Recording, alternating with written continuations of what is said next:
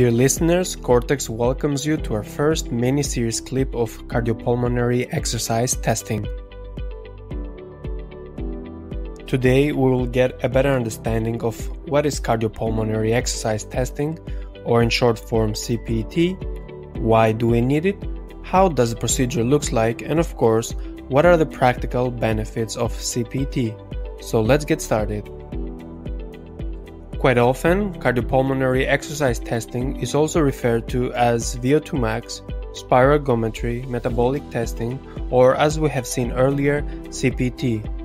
Also, terminology such as respiration, diagnosis, therapy, health, and more are all closely associated to CPET. So, what is CPET?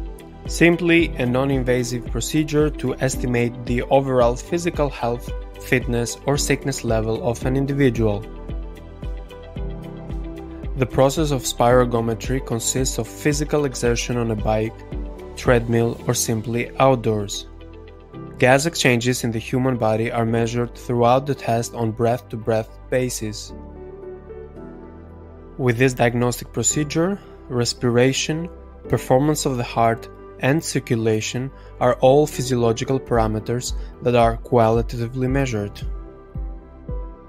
The findings of the measurements can guide the clinician not only towards diagnosis but also assist in creating therapy programs for post treatment. Moreover, scientists and performance professionals use this diagnostic tool to identify limitations and areas of potential improvement in the human body. In more depth, spiroergometry helps us estimate the maximal aerobic performance and evaluate the energy metabolism, thus assisting in nutrition and training recommendations.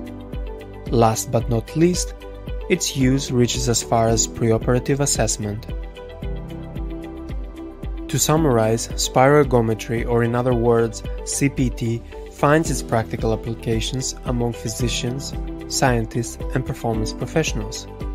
It is used to measure and evaluate the entire physiological system as well as assess limiting factors and exercise tolerance. Thank you for joining.